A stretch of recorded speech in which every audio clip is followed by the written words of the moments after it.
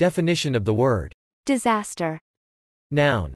An unexpected natural or man-made catastrophe of substantial extent causing significant physical damage or destruction, loss of life or sometimes permanent change to the natural environment. Example. People would suffer disasters when society's morality degenerates.